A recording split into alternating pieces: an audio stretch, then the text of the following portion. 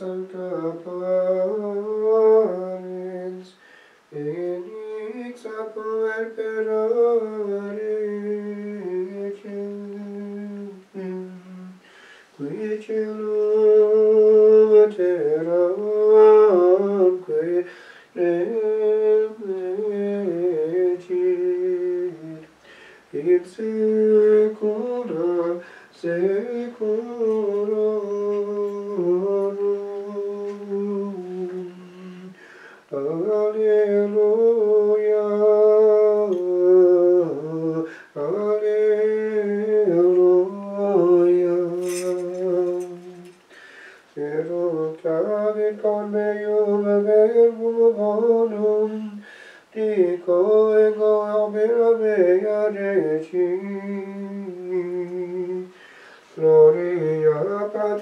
Filio et Spiritui Sancto, sic ut erat in principio et nunc et semper, et in saecula saeculorum. Amen. Salve, Sancta Parens, enix apover perare qui celum terram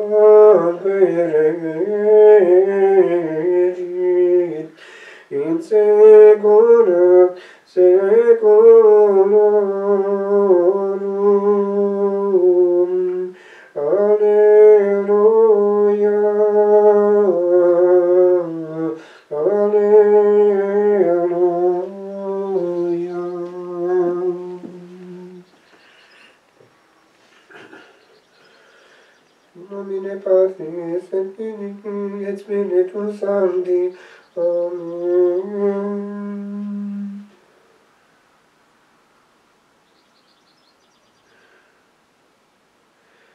Miserere nostre Domine, quia peccavimus tibi, ostende nobis Domine misericordiam tuum, et salutare tuum da nobis. Miseriatur nostri omnipotens Deus, et dimisis peccatis nostris perducat nos ad vitam aeternam. Amen.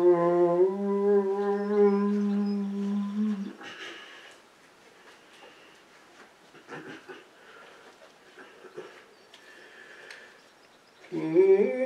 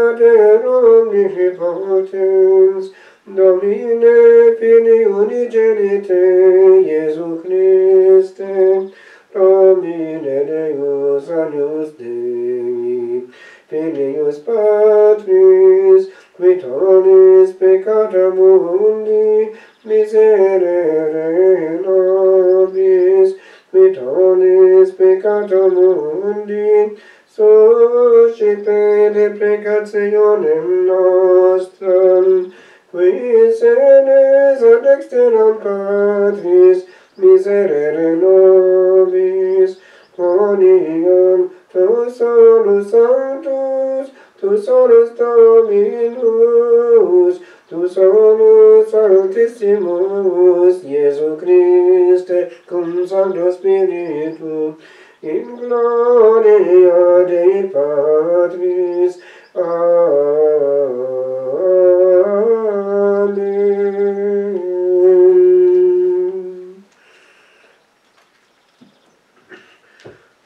Amen.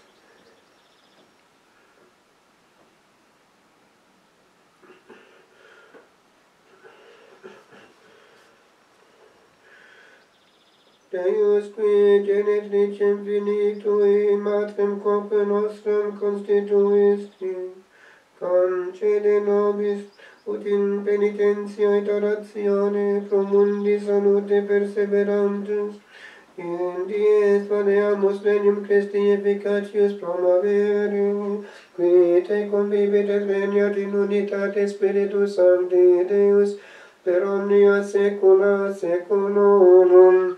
A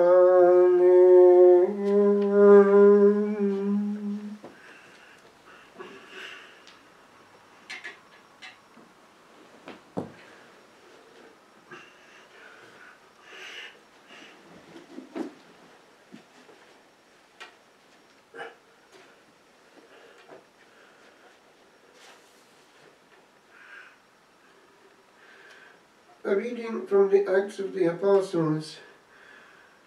Some men came down from Judea and were teaching the brethren, Unless you are circumcised according to the custom of Moses, you cannot be saved.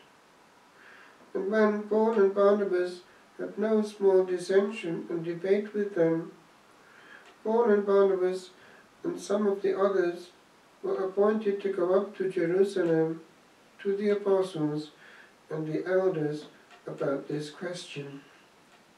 So, being sent on their way by the church, they passed through both Phoenicia and Samaria, reporting the conversion of the Gentiles, and they gave great joy to all the brethren. When they came to Jerusalem, they were welcomed by the church and the apostles and the elders, and they declared all that God had done with them.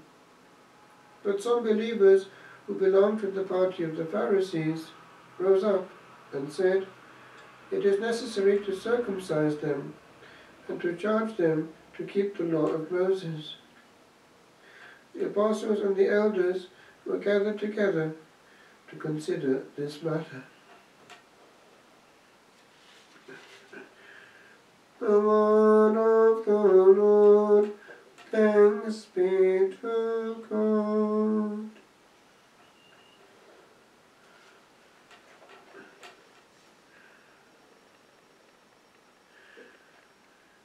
I rejoiced when I heard them say, Let us go to God's house. I rejoiced when I heard them say, Let us go to God's house. And now our feet are standing within your gates, O Jerusalem. I rejoiced when I heard them say, Let us go to God's house. Jerusalem is built as a city, strongly compact. It is there that the tribes go up, the tribes of the Lord. I rejoiced when I heard them say, Let us go to God's house. For his vast glory it is, there to praise the Lord's name. There will set the clouds of judgment of the house of David. I rejoiced when I heard them say, Let us go to God's house.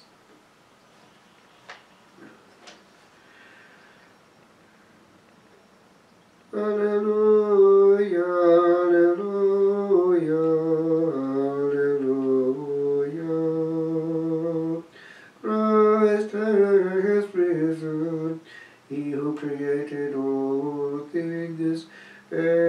exploded his mercy to me.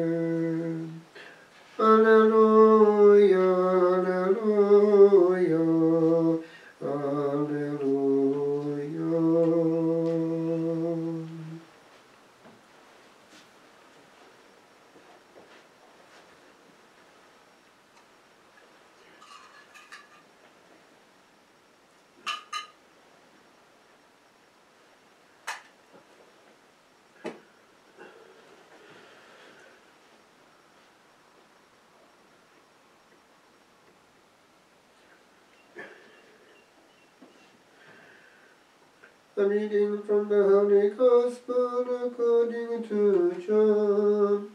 Glory to you, O Lord.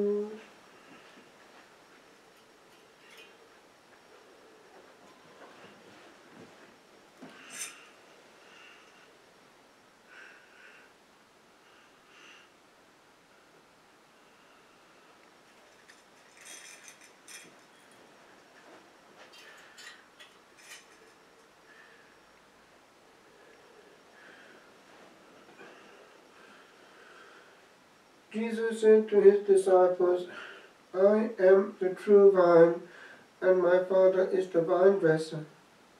Every branch of mine that bears no fruit, he takes away, and every branch that does bear fruit, he prunes, that it may bear more fruit. You are already made clean by the word which I have spoken to you. Abide in me, and I in you. As the branch cannot bear fruit by itself unless it abides in the vine, neither can you unless you abide in me. I am the vine, you are the branches. He who abides in me, and I in him, he it is that bears much fruit. For apart from me, you can do nothing. If a man does not abide in me, he is cast forth as a branch and withers. And the branches are gathered, thrown into the fire, and burned. If you abide in me, and my words abide in you, ask whatever you will, and it shall be done for you. By this my Father is glorified, that you bear much fruit, and so prove to be my disciples. The Gospel of the Lord, praise to you, Lord Jesus Christ.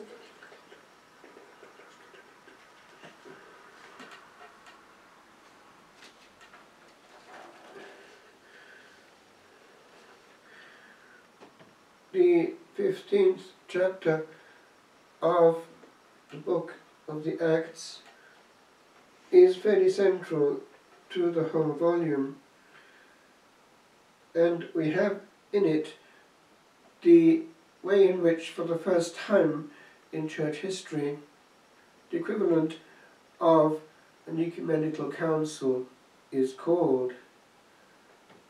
The apostles are there in union with Peter and we later on hear this expression coming from their deliberations. It has seemed well to the Holy Spirit and to us.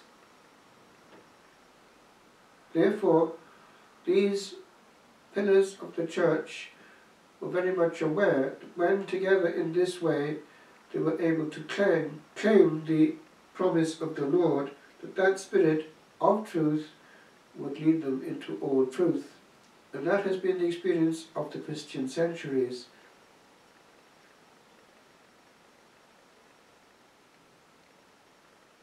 We notice that there are Pharisees amongst the believers, so one can understand how they would be unwilling to come out of the comfort zone, at least some observances which seem to be to them indispensable, notably the outward sign of circumcision.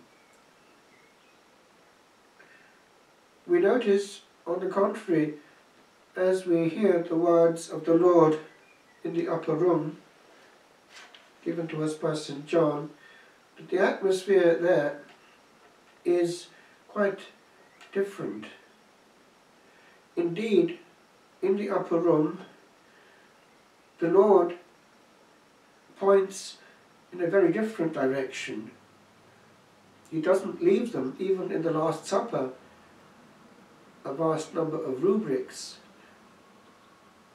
He says, do this, so they have to repeat what he's doing, and adds in memory of him. He then is the lamb taking the place of the previous paschal lamb, indicating the covenant is in his blood. But then, in that same context, he gives the essence of the law that he, the new Moses, is giving. A new commandment I give unto you, and by this shall men know that you are my, belief, my followers, my disciples. By this my Father is glorified, that you bear much fruit, and so prove to be my disciples. He goes further than the command on the level of the horizontal amongst themselves, and goes into the very essence. He is indicating his divinity, his presence, and his presence in the soul. Only the Blessed Trinity can abide in the soul. And so, by giving this teaching, he is underlining also his divinity. Abide in me, and I in you. Just as we see that happening in every part of the vine. Using the vine, of course, in the context of the Last Supper, it would make contextual sense. And then he indicates how he, from this abiding in the disciples until the end of time, will also be the force at work. And that, by the way, is supremely valid for our time. One sees this kind of scenario. Why is such and such a Christian body so successful? Oh, let us imitate what they do and then they invent new things, borrowing another context, not Catholic, to try and be spectacular and effective, often with short-lived fruits. We have the abiding, and actually supremely so. For when at Holy Communion we have that real presence in us, the intimacy with our Saviour is such that we would do better to say, rather than what can I do for you, Lord, all the time, all the time, simply to say, over to you, Lord. For when He from within inspires, it is quite different. How many good souls, good communities have come to grief through taking on everything that passed through their mind and ended up by being too thinly spread. And in the interests of doing many things, were not able to dwell in the present moment and in the grace of just enjoying the gaze. That gaze which gives sense to all the rest. At the end of life, we have done many things for Jesus, but not had time to gaze into his eyes. Will we actually have allowed him to be Lord? On this day, we think of the way in which our Blessed Lady spoke very simply to simple people, but yet gave them to understand sufficient for even the wisest. What was the one thing she asked for each time in those six apparitions? She was the Lady of the Rosary and she each time asked for the daily recitation thereof. It could be asked, why did she not ask for daily adoration, daily presence at the holy sacrifice of the Lord? Simply because it's the one thing that everyone on earth can do, even a child, even the Holy Father. And yet, how many of us are so busy doing things, of course, for the Lord, that that bit either doesn't happen or happens in a very, very mediocre fashion. Which brings me to one big point. We need on this day to ask whether that element of abiding and therefore relationship, not the religion that the Pharisees were coming from, is actually present in our prayer. Or are we falling into a new Pharisaism of getting through duties, the quantity of vocal prayer, observance of vocal prayer? It can be put like this, simply. If there is relationship and abiding, then the rest will follow. And there will be no moment of non-abiding. And so all will be mode of dialogue, mode of sharing with him, and in this case also with her. And therefore, spontaneously, one will drift into quiet moments which might or might not include such and such a form of prayer. When we are doing simple work, or even travelling, one can also be using that time. And an excellent way at that point is a simple repeated prayer. Far from what the Lord was speaking of in the Sermon of the Mount with regard to vain repetitions. It is our duty to make sure that our mantra is not a vain repetition, but a kind of music that actually creates an atmosphere where we're free to engage, but the engagement must happen. Two things. The teaching on the abiding is central. I remember being given this book early on in formation in France. It was by a good Jesuit. And he indicated that the worst tragedy in the Christian family is that so few engage and so many practice, but actually don't have the actualization of the life of grace which is Trinitarian. They don't engage with the presence within them. Jesus is not a friend. But the other is this. A tragedy across the Christian world is this. Many of our prayers are not prayed. At Garabandal, Our Lady gave a quiet hint to mankind. It was this. She allowed the children to be taught by herself how to say the rosary. It was very slow and it can be picked up on tape. Similarly, earlier in time, that same Lady of the Rosary had taught Bernadette at Lourdes to make the sign of the cross well. The hand could not move. She was going to do it very quickly, and miraculously she was taught how to make the sign of the cross well. So anything we do must be an expression of relationship and not of religion. Lovers find their own language which only they understand.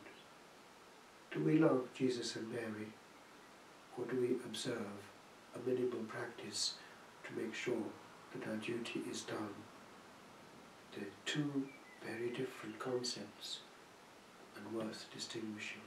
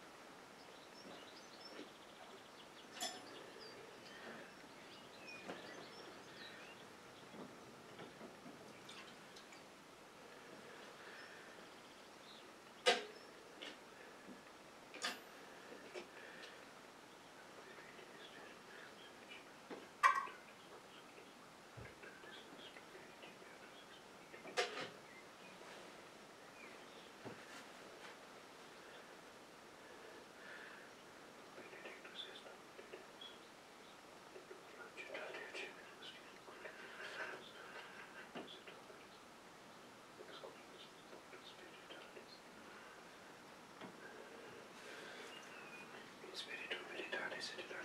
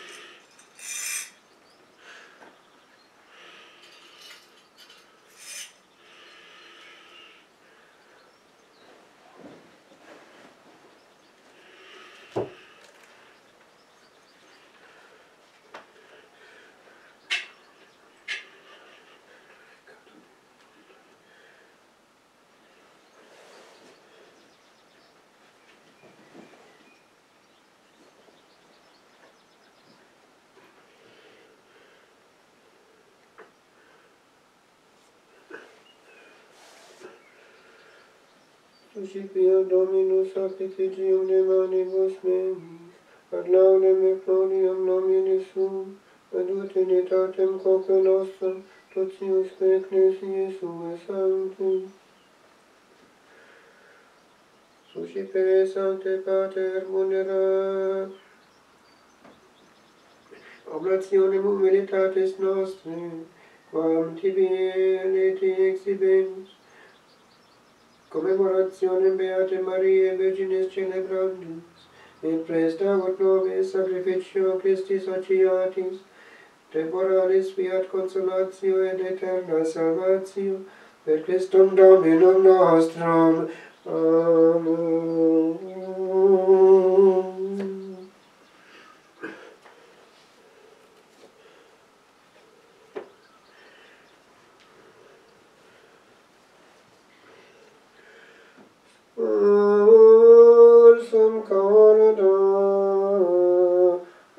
Senhor.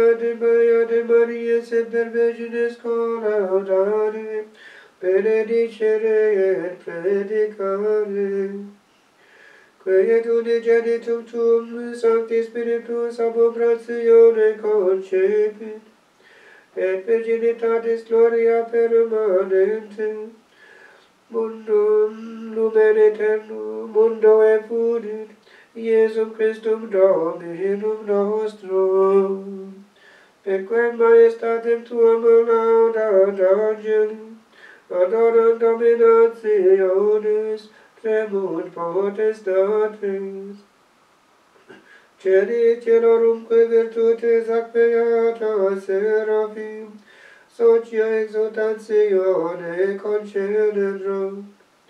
Cumquibus et nostras voces ut admitio beas de precamur, supplici confessione dicentes.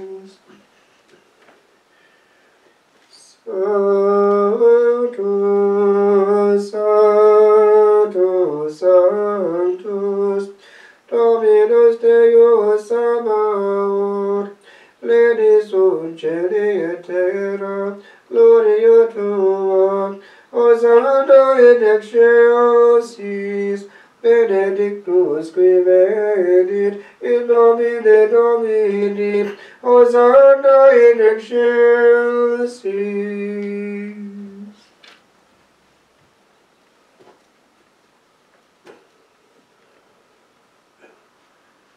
peri Sanctus est Domine, vox omnis sanctitatis.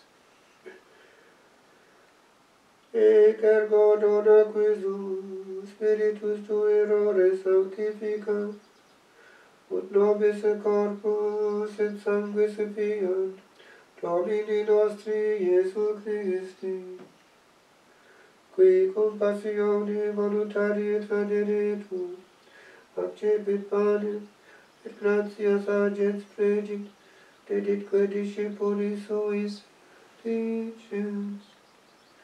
Accipite et magnucate ex hoc omnes, hoc est enim corpus meum, quod pro vobis tradetur.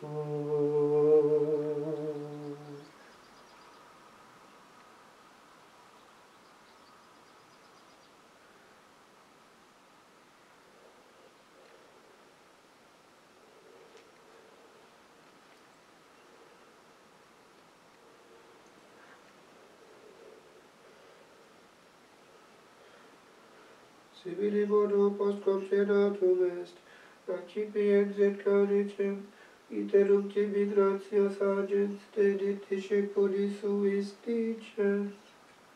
Accipite et bibite ex eo omnes, hic est enim calix sanguinis mei, novi et eterni testamenti, qui probobis et probutis et fundetur in remissionem peccatorum, hoc facite te meam commemorationem.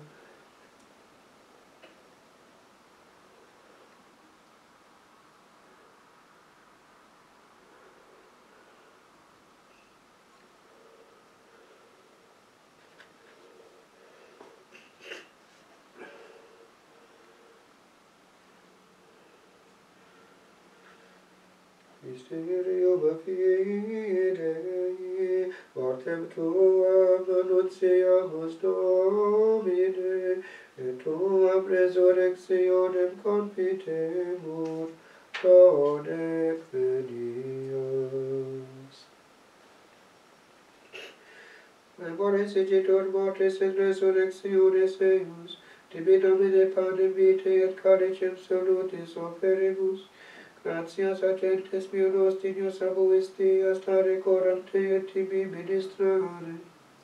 Et supplices te precamur, ut corporis et sanguinis Christi participes, a Spiritus Sancto congreceamur in unum.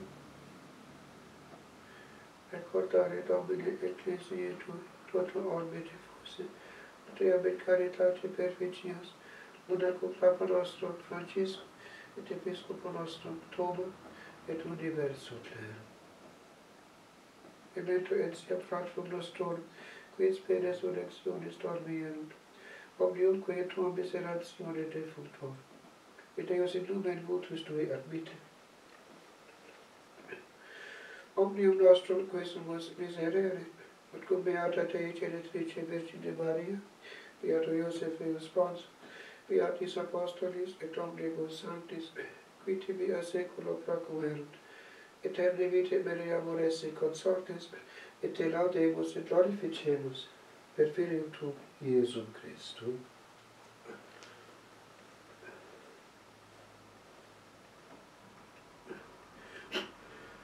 Per ipso, velcum ipso, et in ipso, Esti video Patri omnipotenti in unitate Spiritus Sancti omnis honor et gloria per omnia saecula saeculorum. Amen.